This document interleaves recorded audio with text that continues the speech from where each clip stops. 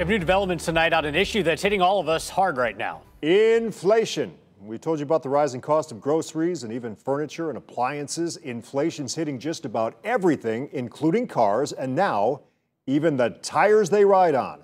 News 5's Bob Jones hit the road in the rubber city looking at the impact that increase is having on garages and their customers. If you've needed new tires lately, you may have experienced sticker shock. One dealer told us the price for four tires has jumped between 120 and $200 depending on the size and type since last fall. Retailers feeling the pressure of the price they're paying for tires. At Hammond Tire and Auto Service in Akron, inflating rubber is the name of the game.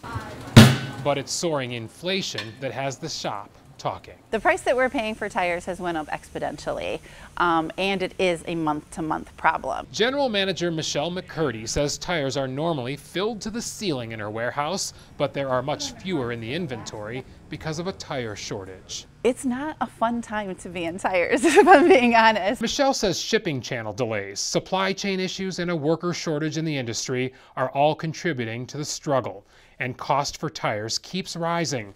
On top of that, a freight charge that was $500 in the fall is now between 8 and 10 grand. For Hammond, that means a purchase of 1,000 tires that was $46,000 is now much more. But if we would order it now, we would be closer to the 70, 80,000 range. So it's about doubled. Michelle says she's left with no choice to pass that cost on to her customers.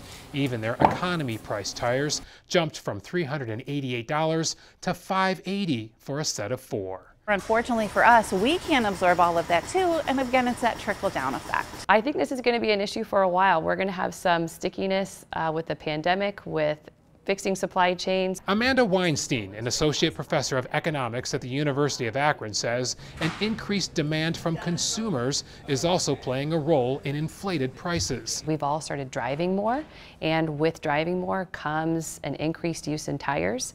And so over the past two years where we weren't driving as much, we didn't have as many need to replace those tires. It has been a rough road for this tire dealer, but in the rubber city, Michelle hopes for a bounce back but when? If you get that answer, please let me know because I would love to know. In Akron, Bob Jones, News 5. Thanks, Bob. And speaking of tires, today Goodyear had an earnings call, and some of the news about this year's outlook has the company's stock tumbling. It fell 25%. That's the worst showing since Black Monday in 1987, according to MarketWatch. This comes even though the CEO of Goodyear says sales are robust. Rich Kramer said Goodyear saw a 40% increase in sales on that call, which is a little more than $5 billion during that fourth quarter earnings report today. Kramer said that marked Goodyear's highest fourth quarter revenue in a decade.